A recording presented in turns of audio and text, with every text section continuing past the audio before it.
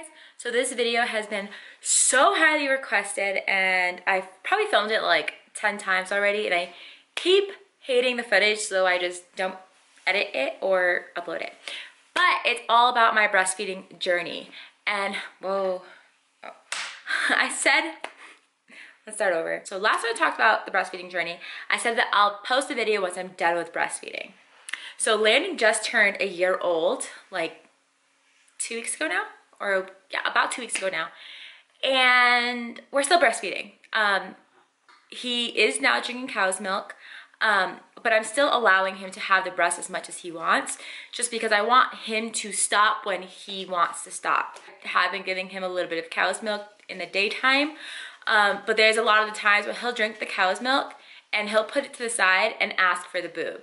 Um, and his way of asking for the boob is pointing to my boob, or he'll literally lift off my shirt and I just give it to him because I want him to still feel comfortable with wanting it. And I don't think there's anything wrong with him still breastfeeding after a year old. Let's go back all the way from the beginning. I'm gonna talk about my whole journey thus far.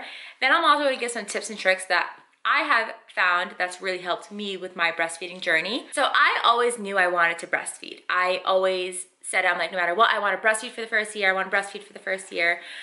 I never realized how hard breastfeeding was and that's one thing that no one has ever informed me. I never really asked questions because I don't really know anyone that's breastfed their babies for almost a year. So I had to do a lot of research and I never really did a lot of research until after I had Landon, which was my first mistake.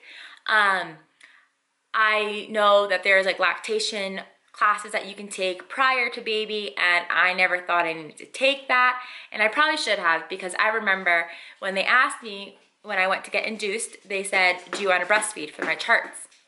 Sorry if you can hear Landon in the background he's eating lunch across from me. So I said yes I plan on breastfeeding so that they knew whether to give me formula or to allow me to breastfeed. After I had Landon probably like within 30 minutes they're like okay did you want to try breastfeeding? And I said yes I literally didn't realize I had to latch him onto me. I thought it would just be natural for him. But I mean, obviously his baby doesn't really know. He was showing signs that he wanted to nurse. He was like opening up his mouth. And... So I didn't know better and I literally was just like, here you go. Like just trying to shove my nipple in his mouth. We're gonna get real personal now. I had very flat nipples. Like I didn't have, like my nipples weren't like point, my nipples didn't point out. I don't know what the correct term for that.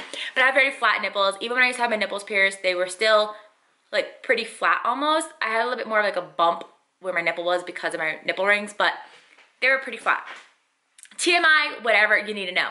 So it's a little harder for to nurse at first if you if your nipples are pretty flat because it doesn't hit the roof of their mouth as easily, I guess it is. Um, whatever. So I didn't really know better, so I'm just trying to like pop my whole boob in his mouth without realizing that there's an actual technique to get it into his mouth and helping him latch on. I had no clue. We were in the hospital, I was gonna say three. We were in the hospital for two days and I cried every single day, all day long, because I couldn't latch him on to me. Um, he was a very lazy eater as well, so he would nurse for like a few seconds and then come off and then wake up like again and want to nurse and it was exhausting because he would just fall asleep on the breast eventually. So the whole time I was at the hospital, every time I had to feed Landon, I would have to call one of the nurses in to help me latch him onto me because I had no idea what I was doing. I could not latch him onto me no matter how hard I tried. And then he was getting frustrated because he wanted to nurse and I couldn't get him on me. Um, so when Landon's born, Landon was six pounds, six ounces, and he dropped down to five pounds, six ounces, I believe was what it was. Uh, his last check-in before he started gaining the weight. Um, and I was nervous. I remember the last night that we spent there, that whole night, I cried and I told Cameron, I was like, I can't go home. I cannot go home. Um, he's losing weight. He's not eating. I don't know how to nurse him. I'm going to have to go to formula. And I was devastated because when you're first trying to breastfeed and you can't breastfeed, it's almost like discouraging because you're like, this is something that's supposed to be natural. Why isn't it coming natural to me? And it's because everything's a learning process and I'm getting chills thinking about it. But everything's a learning process with being a mother or just being an adult period. Um, everything you need to learn. Um, and I really encourage if you don't know how to breastfeed or you've never breastfed, take a class. It helps so much. Um, But basically, I ended up really getting him to kind of latch on, and really the only way I got him to really feed was if I held him across my belly and kind of just like held like held him that way to nurse. I tried so many different positions, and that's the only position until this day that's the still position that he prefers to breastfeed. Um, but I saw a lactation consultant, I think three times while I was at the hospital, that they would come in and help me and kind of show me a way to help um, hand express and kind of a way to really like get my nipple into his mouth and it really helped. So the day that they sent me home, they knew I felt so uncomfortable with the fact of bringing him home. Um, and basically what they did was they told me to come in the next day for a lactation consultant appointment. And so I did, I was like, yes, that'll make me feel so much better, kind of learn a little bit more, and it's kind of more like hands-on, just me and the lactation consultant compared to me and the doctors and the nurses and all these people coming in. So we did, we went home, I was able to latch him, but not really. It was kind of a really rough night. The first night was a rough night. Um, but the next day we had a lactation consultant appointment and then we were there. We got to weigh him, feed him, weigh him, and they said the same thing. Like he's a lazy eater. Like he's very lazy. Um, and he would just fall asleep right on the breast. So then we had to really start tickling him and like kind of like rubbing on him to kind of like keep him awake because he would just fall right asleep as soon as he hit the breast. So while I was at that appointment, they also told me to go get my pump. Uh, because I had Landon three weeks early, usually at the 37 week mark, they will prescribe you your pump if you have TRICARE. Um, and it's for free with TRICARE. So I never got to order my pump because they just prescribed it and I literally had Landon like three days later. So um, I got my pump that day. They said start pumping and then uh, finger feeding him. And that way I'll kind of teach him to suck onto the nipple um, compared to just giving them a bottle so young. So we did. I would have to literally strap, well, Cameron actually did it. So I would feed him, and then after I fed him, I would pump, and then whatever extra I would pump, Cameron would tie um, the tube to his pinky because it was small, and then we would take a syringe with the breast milk and we would slowly feed him that way to help kind of him gain the weight because he did have jaundice, actually pretty bad. Um, but we just passed it enough that they let us that they let us go home. So we did that for a while, the finger feeding, we would nurse and then feed him that way to help get him that extra breast milk. So at his one week checkup, we noticed that he was actually losing weight and his jaundice levels were still pretty high. So we had to continue going to these appointments every day to weigh him in and see where we were at. And at that point, we actually almost had to get readmitted for the jaundice and he wasn't gaining weight. Um, so we had to give him formula. So, and the reason why we had to give him formula was so that way we did not have to get readmitted. And he's had one bottle of formula. I'm lying. Yeah, he's had one bottle of the infant pre-made formula his whole life. Um, and that was to help him gain weight. And I'm glad that we did do it because if we did it, we would have had to get readmitted and yeah, so he did have formula. Beginning of our breastfeeding journey was very difficult. I cried every single day, all day long, because I didn't know what was gonna happen. And I thought after giving him that one thing of formula, so after giving him that one, like that one bottle of formula, I literally bawled my eyes out because I was like, I, I won't, I'm not gonna be able to continue. Like, he downed the whole thing of formula and he loved it. And I was just like, oh my God, he doesn't like my milk. He prefers formula. For a little bit there, I was like, I'm gonna have to do formula. I'm gonna have to do what's best for my baby. And that's just what it is. And I was devastated at first because I was like, I really want to breastfeed. And then I was like, you know what? No, I'm doing this. I'm going to do it. And I pumped and I nursed and I pumped and I nursed and I pumped and I nursed and I literally, all I felt like I had was my boobs were hanging out like the first like two months. And all I did was have a baby attached to me or a pump attached to me. And I tried to get my milk up and I tried to nurse him as much as I possible. And we've made it. We made it over a year now and I'm getting chills because I'm so excited because I literally had so many times throughout my journey, which I'll get into as well, that I literally wanted to give up. And the biggest thing I can tell anybody that's breastfeeding and wants to continue breastfeeding is do not give up. The worst thing you can do is to give up because it's very easy to stop producing milk, but it's not as easy to continue. Don't do not give up. I had a rough start, um, but we made it and you can too. So, like I said before, is I did so much research. I can't tell you, I was constantly reading so many articles, so many videos. I was reading so many blog posts. Um, anything I could get my hands on about breastfeeding, I was reading because like I said, I didn't know anybody that was breastfeeding. I didn't have any friends that were breast that breastfed or breastfeeding. A lot of my friends that did breastfed, they stopped because something happened or they just gave up. I don't know. I have some friends that never wanted to breastfeed, which is okay too. I mean, I have always wanted to breastfeed. So I have always wanted to breastfeed. So for me, like, I knew I gotta take out my nipple rings. I gotta like let my boobies be milk because that's what I mean. That's what boobs are for. That's why God gave us boobs was to breastfeed. That's why we are able to produce milk is to feed our children. That's why cows are able to feed their babies. That's why like any animal is able to feed their babies because that's what we're made for. But nothing's wrong with formula either. Like, I mean, it, like I always think about it. Like, if my next baby literally can't latch or has any kind of issues, then I'm gonna do what's best for my baby. If it's best to feed my baby formula and make sure she's or he's gaining weight or healthy, then I'm gonna do what's best for my baby. So I and I'm not opposed to formula at all. Um, like I'm not. I would do it in a heartbeat if I had to. Um, but I knew I was able and I was capable of producing and continuing as long as I wanted to put in the work. I'm lucky that I'm home three days out of the seven days of the week. Um, what? I'm lucky that I'm home five out of the seven days of the week. I go into the office twice a week and I struggled a lot on those days that I went into the office with my milk.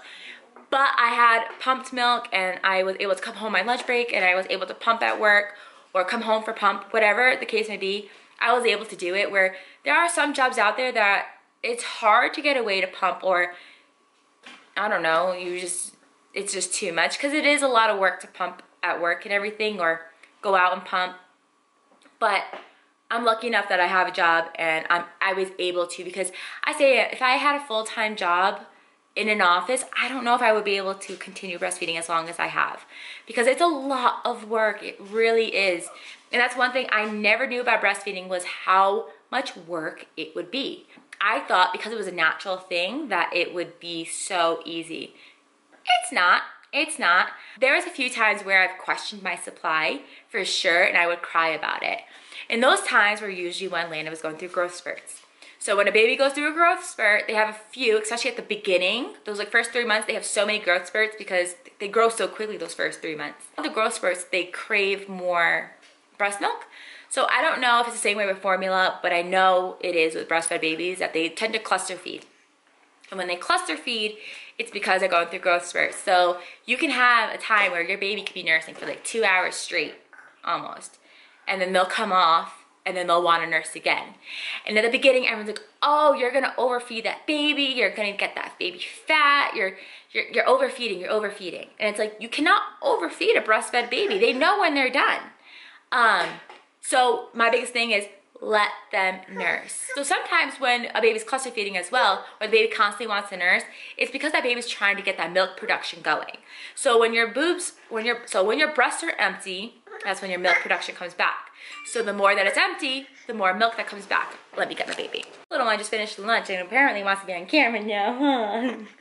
um, apparently he wants the breast. Um, I tried giving him cow's milk and he he threw it at me. So apparently he wants some milk. I tried giving him the bottle and he threw it at me. So he wanted the boob. so I'm gonna let him have it. Um,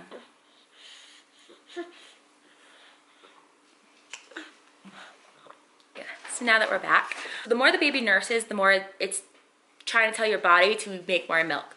So usually when a baby wants to cluster feed, people confuse that with they have a low production of milk. And that's not the case. So what the case is, is that the baby's trying to make you have more milk to reach their needs, if that makes any sense at all. I hope it does, because that's what they're trying to do. Sometimes babies just feed for comfort, and that's okay too, because, I mean, you are a pacifier. I also allowed Lane to have a pacifier when I knew he was using me as a pacifier, and he took to the pacifier just fine, and he doesn't even need the pacifier. He'll, he uses it once in a while, but he never uses it really. Um, but yeah, cluster feeding, totally normal. Your milk production's fine. A lot of people also feel like sometimes they'll usually you feed your baby and then you pump. So sometimes people feel like when they're pumping after they feed the baby and they don't have enough milk, they're like, I'm not producing enough. And you're producing just enough. The extra milk that you pump after you have nursed your baby, that's just extra milk. Your baby already took his intake of what he needs. So that extra is what you save up to freezer stash or in case your baby gets sick or just, you know, have a backup supply. But as long as that baby's fed and he's having wet diapers, um, he's nursing and having wet diapers, then he's he's fine or she's fine. Um, that was my biggest worry was I'm like, oh, how do I know if he's eating enough? And the doctor said as long as he has wet diapers, he's okay. So that's another thing too, is that um, remember, cause I always just get so defeated when I would see my milk and only see a little bit of milk, like two ounces. I'm like, oh, I only made two ounces. He's supposed to be having like six ounces. And I'd be like, oh, I'm not pumping enough. But I'm pumping just fine. It's just, that's just the extra milk. So what you want to kind of, I, so another thing is too, is I have an oversupply. Um, and I didn't always have an oversupply, but I would always pump, feed, pump, feed, pump, feed. And I guess just me being me, naturally I have an oversupply. So one thing I started doing when Landon was like two to three months old um, was I ordered from Milky Mama which is an amazing company. They're actually based in California, I believe. Um, and they make lactation treats and supplements and all that kind of goodness. And I ordered from them and the cookies and brownies are delicious and they work instantly. Like I'm talking instantly. Like I would eat a brownie and I would notice in like an hour that my boobs just were like full and they hurt and I needed to nurse or pump and I would pump so much extra milk. So with that being said, um, there's nothing wrong with lactation treats. Sometimes lactation treats is just helping your body produce more because you're giving your body exactly what it needs. So when you're breastfeeding, it needs a ton of water. It needs certain like, um, I don't know the words, um, not nutrients, but like certain things to help create milk. I don't know, but like you want to eat lots of oatmeal and like oats and that kind of stuff. So yeah, Milky Mama is bomb. Lactation drinks too, coconut water. Um, there's teas. Um, I'll show you guys at the end a bunch of things that I have that I've used and I loved. I don't have anything from Milky Mama because I haven't purchased from them in so long because I just don't. Um, also another thing is Pinterest. I have Pinterest so many smoothies and um, like cookie, like lactation cookies and lactation brownies and like lactation muffins and Pinterest has so many things that you can make right at home that's really inexpensive. But if you're on the go and you don't have time, Milky Mama is so good. It's kind of pricey, but well worth it. There's a ton of different treats. I literally would eat these cookies and these drinks and all the time. And I've also taken a lot of like supplements to help with my production as well. Now, I haven't taken anything in probably a good three months just because now I just kind of nurse whenever Landon wants and I've been produce, producing enough. But I haven't pumped and stored milk in probably six months. And the reason for that is I am pretty much always home. So Landon always is able to have my breast whenever he needs it. Um, so I haven't really needed a freezer stash anymore. Um, so we've gone through the freezer stash. There's no more freezer stash. We don't pump anything. We don't pump anything extra anymore. So yeah, I don't pump anymore. Um, there's been a few times recently where I have had to pump just because Landon isn't nursing as often and just to kind of relieve the pressure because it hurts so bad. Um, there's been a few times where if it hurts so bad, I'll ask him, and be like, hey, do you want some milk? And he'll be like, and he'll come over to me and kind of help relieve me. But if he doesn't want it, then I'm not gonna force him to drink it. I'll just pump it out. Um, Yes, you're just playing. Landon's just playing in the corner. He's so cute. Ah. Um, but yeah, I don't pump anymore. And that's a personal preference. There's some people that need to continue pumping. And You needing to pump if you're working or, you know what I mean? If you're at work and you need a pump to help store, that kind of ish, you're gonna need to keep pumping. But since I'm pretty much always home and I'm able to come home on my lunch break, um, on the days I go into the office, I don't need to pump really anymore. Um, so I don't really pump anymore. So I don't really feel the need to have any lactation drinks to help with my supply because what I have is enough. And especially now that he is getting a little bit of cow's milk, I definitely have way more milk in me than he needs. So we kind of just let it go. And now my body, I think my body's kind of like learning that it needs less milk too. So that's kind of cool, but it kind of still hurts. I'm still going through pain of like when I need to nurse him and he doesn't want to nurse. I'm like, ah, this hurts. But he nurses first thing in the morning. He nurses first thing in the morning and then right before bed. And then he nurses probably two, maybe three times throughout the day. Kind of just depends. Sometimes he'll drink the cow's milk in the day. So he'll only nurse like once in the day. But more than likely, I, I would say he nurses at least four times a day still. Um, so yeah, I think I got all of that out of the way. I just want to say my breastfeeding journey has not been easy. There's definitely been more hiccups in it than I'm probably talking about just because, I mean, it's been a whole year, so it's kind of hard to remember everything. But I have a ton of you guys that message me all the time on Instagram about breastfeeding, and I am more than open anytime any of you guys do have a question. So I have a lot of people that reach out to me regarding it, and if you really do ever have a question, please feel free to reach out to me. I'm not a lactation consultant. I'm not a specialist. I am not a pro, but I can give you my personal opinion on things and I can kind of like give you advice on kind of what happened to me or like what I've been through to help you out. Um, but yeah, I'm always open to talking to anybody. Um, yeah, let me show you guys some things that I've used while breastfeeding. So one thing I just realized I forgot to talk about was my supply when I got my period back. So I have an IUD. So I have the copper IUD, so I'm not sure the correct term for it, but it makes you get your period. Um, I had the Mirena put in, I had a bad allergic reaction to it, I had to get it removed, and then I got the copper IUD put in, but this one makes you get your period. So I started getting my period, I get my period every month now, um, and when I get my period, my milk plummets. It doesn't drop, it plummets and it's scary um, when it plummets. But when it, usually when I'm on my period, um, I take the calcium, magnesium, and zinc. Um, and I take this. I mean, this is good to take anytime. But when you're on your period, I read a lot that this is actually what helps. And this is actually my second bottle that's unopened. I don't know what happened to my first one. I think it's still in the, in the cabinet. But this helps a lot when you're on your period. So if you're on your period and you're seeing a decrease, try the calcium, magnesium, zinc um, this helps a lot. Um, and I used, to, I used to cry when I got my period. I'm like, oh my God, my milk's not coming in. And it's because my period was coming or I was on my period. So yeah, this is awesome. Um, another thing I used to take was the Mother's Love More Milk Plus um, herbal supplement. It looks like this. These taste disgusting, but they work. Um, I am bad. I didn't take this every day, but usually like around my period or when I really feel like a decrease in my milk, I would take this twice a day. It's, it's recommended, I think four, but it used to make me feel kind of queasy.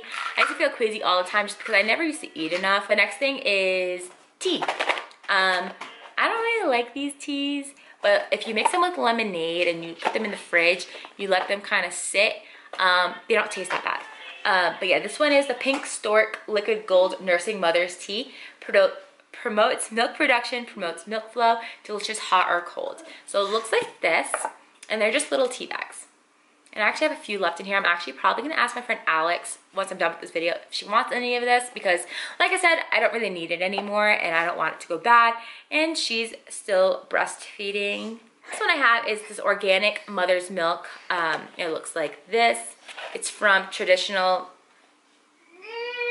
medicinals, medicinals, medicinals. I don't know. Ugh. Um, but yeah, these are what these look like. Mm. Just like a bunch of herbs and stuff. And I mean, I'm just, I just really don't like the taste of these. I, I don't. I like Earl's Grey or black tea, green tea. I don't like these. But like I said, mixed with a little bit of lemonade, it's actually not that bad. Um, so yeah, I would drink those. Um, depending on how I felt, I would probably drink one of these once a night um, maybe every other night, depending on how my flow was.